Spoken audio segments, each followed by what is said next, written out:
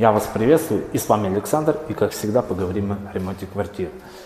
Самый главный вопрос, как заказчику передать после ремонта квартиру в надлежащем виде, из чего начинается ремонт. Поехали. И вопрос, с чего мы начинаем ремонт? Не вы, а мы. Мы начинаем ремонт, упаковываем окна, снимаем все пластики, снимаем домофон, упаковываем двери. Не только внутри, но и снаружи.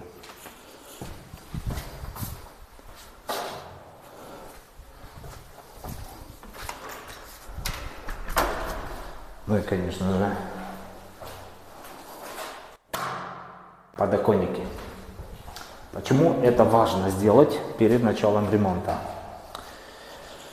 Вы получили квартиру, то есть купили, э, ждали ее, я не знаю, долго, недолго, но наступил тот момент, когда получили ключи, когда получили квартиру, вы вошли в нее первыми, и вам нужен ремонт квартиры. Вы даете объявление, вы прозваниваете по фирмам, и вы нашли Аркадия, который будет делать вам ремонт. И вот передаете Аркадию ключи, он завозит инструмент, завозит материал и начинает ремонт. Допустим, у вас предусмотрена гипсокартонная конструкция.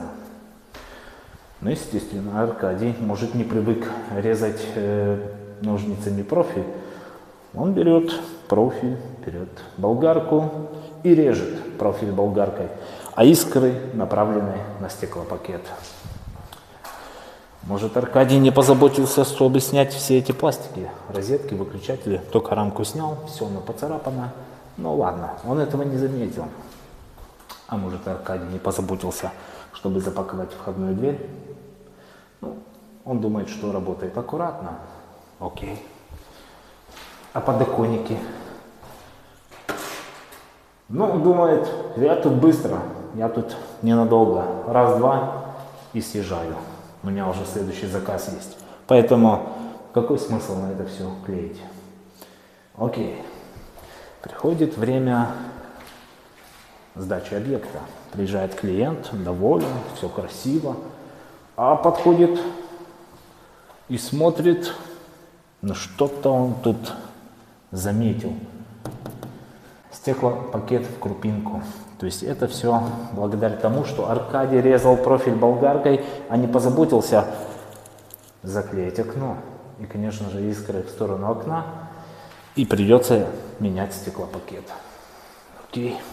Аркадий не позаботился о том, чтобы снять домофон, снять розетки, они все поцарапаны. На данном объекте я насчитал 32 розетки. То есть будем считать 30 злотых, ну мы в Польше, конечно, поэтому и в злотых. 30 злотых на 32, то есть это 960 злотых. Плюс рамки, то все, то есть 1000-1200 злотых выйдет. Это как минимум. Окей, плюс домофон. Но двери, повредил двери, может там грунтом чем-то там, ну в общем повреждены. Ну что с ними делать? Красить? А может лучше поменять? Финансы. Подоконники, тоже грязные, батареи, все это грязно, все это нужно чистить. Это время, это деньги. Разве клиент будет тратить деньги на это все? Нет, он стянет деньги с Аркадия. Он ему просто не заплатит, а поменяет стеклопакет, поменяет все розетки. Ну а с дверьми что-то сделает. Либо просто поменяет, либо покрасит. Но это все деньги Аркадия. Аркадий потерял деньги. Понятно, что если вы тут какие-то переделки делаете, например, гипсокартонная конструкция потолка, да, или шпаклюете, упадет что-то на подоконник, херякнет молоток, и все, подоконник не целый. Ладно, это всякое бывает. Но это поможет то, тому, когда вы закончите ремонт, шпаклюете, красите, грунтуете, это все капает, капает на подоконник, капает на окно. Вам не придется потом тратить время, чтобы это чистить, чтобы это вымывать. Нет. Лучше потратить энное время все это заклеить, заклеить входную дверь, поснимать все розетки, и вы как только закончили ремонт, вы это все снимаете, выбрасываете мусор, ставите розеточки, все чисто, все целенько.